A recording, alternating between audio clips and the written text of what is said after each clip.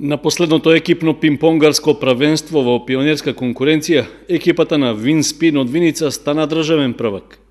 На турнирот, што се одржа во Острумица, тие го освоија првото место и се закитија со златни медали и пехар.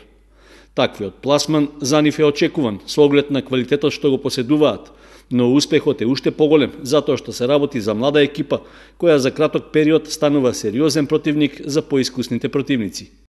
Тоа за нас представува голем успех, бидејќи сме кратко време од нашето формирање, практично само после само две години, значи имаме направено постигнато значи солиден резултат.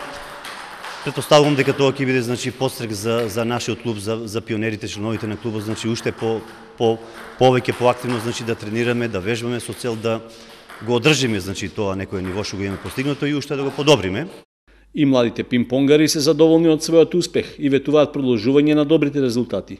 Ова за нас е многу голем успех, затоа што а, клубот постои веќе две, неполни две години, уште од помал сум имал желба и сега кога се отвори клубот во Виница, одма се запишав и така продолжив да тренирам. Јас тренирам една година. И сум среќен што го освоив овој медал и донесов успех за екипата. Ваквиот успех за пионерите на Винспин не е прв, затоа што и минатата сезона во парови тие се закитија со сребен медал, а поединечно еден член го освои третото место.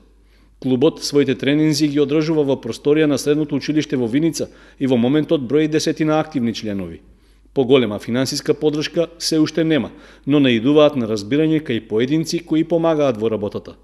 Пред се успехот го должиме значи на на нашиот тренер, професорот по физичко воспитување, пензионираниот професор, значи Филимон Поп Михилов од Кочани, кој волонтерски ја извршува таа работа, значи доброволно, без ников финански надомест, доаѓа, значи ги учи децата со вештините на овој спорт. Многу пати знае, значи, да фактички да го спонзорира работењето на клубот со, со превезување на децата до одредено место, значи учество на некои такмичења и слично. Така да користам оваа прилика да се заблагодарам и на него, Исто така и на директорот на гимназијата господин Зоран Ангелов кој ни ја даде оваа просторија, значи имаше слух за за нашите потреби и продолжуваме значи натаму со тренинзи и со со вежбање со цел да постигнеме уште подобри резултати. За продолжување на досегашните постигања на младите винички пимпонгари им недостасува по професионална опрема, како и дополнителна финансиска подршка. Сепак и во условите во кои сега работи клубот, тие ветуваат дека сериозно и напорно ќе тренираат за да го оправдаат досегашниот успех.